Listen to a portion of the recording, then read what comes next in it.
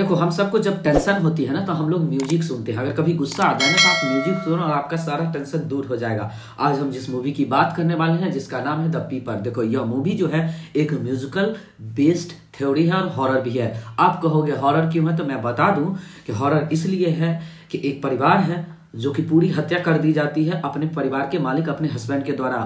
वह एक छोटा सा बच्चा है, उसे भी हत्या कर दिया जाता है अपनी माँ के सामने।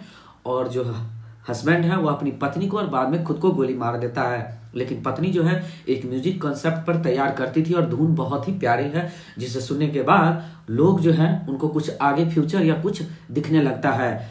जो भी इस म्यूज़िक को सुनता है, वह इस म्यूज़िक में खो जाता है। इस मूवी में हमें दिखाया गया और कैसे इस म्यूज़िक के थ्रू सभी लोगों के दिलो दिमाग पर यह फ़िल्में के जो म्यूज़िक है वह छा जाती है। जो भी इस म्यूज़िक के उनके बच्चे या जो भी कोई सुन रहा है, उनके आँख कान से सब जगह से खून ब खून निकल रहा है, कहीं और जगह से नहीं।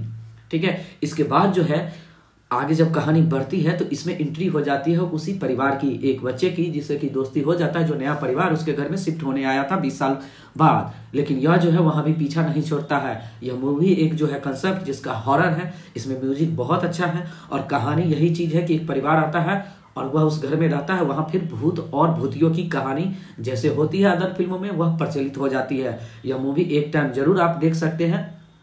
म्यूज़िक का कॉन्सेप्ट और थ्योरी बहुत ही सिंपल है, जिसे देखने के लिए आपको एक घंटा तीस मिनट बर्बाद करना पड़ेगा। और इस फ़िल्म की जो रेटिंग है, वो मैं देना चाहूँगा आउट ऑफ़ फाइव में से थ्री पॉइंट टू स्टार क्योंकि म्यूज़िक एक ही बार बाँध के रखती है, लेकिन लास्ट का जो सीन है ना, वह मूवी को और भी एक अलग स्टैंडर्ड पर ले जाता है। तो मिलते हैं किसी एक और वीडियो में। अगर यह वीडियो आप अगर हमारे यूट्यूब चैनल इंस्टाग्राम और फेसबुक पर देख रहे हैं तो आप लाइक और सब्सक्राइब करके कुछ कहना चाहते हैं तो नीचे कमेंट कर सकते हैं। तब तक